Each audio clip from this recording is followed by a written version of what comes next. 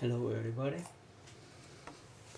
Today I want to show you this is beautiful figurines. This man, this uh, lady and child. And here some beautiful dog. This is fantastic biscuit porcelain from Jean Gille. Uh, in excellent condition without any problem. Look on the girl's face and her hand. Here without any repair without any problem at all. In excellent condition. For for this age this is a very very interesting and beautiful porcelain. Under a stand here is a climb with two letters J G. This means that this is from Jean Gille or on English Jean Gille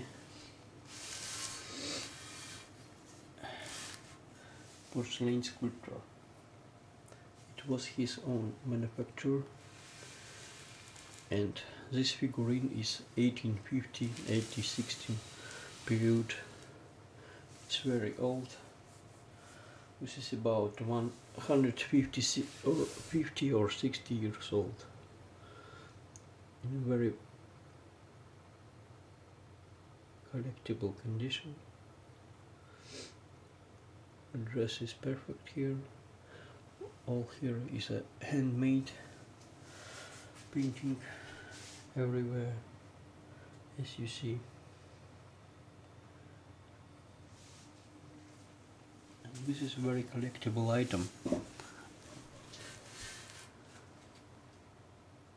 I have many different uh, figurines from Jean Gille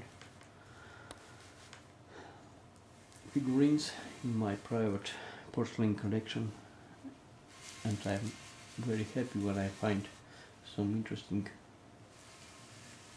figurines from this manufacturer. It is not very easy because many of them in poor condition or uh, get uh, many restoration. Very soon I'll be showing again Jean Gille because I have many of them and I'm very happy when I'll get it. Something new for my collection from this uh, manufacturer because they are very beautiful. His figurines are really beautiful and very interesting for me because I like the um, Rococo style and uh, here is the same style. You can see in this figurine. This is a real French figurine from 19th century. And uh, here is museum quality porcelain I think without any problem. Because I know the same figurine I see on an Italian museum. I don't remember the name but this is a private museum. And uh, they the same figurine in this museum. Thank you very much for watching my video and have a good day. Bye.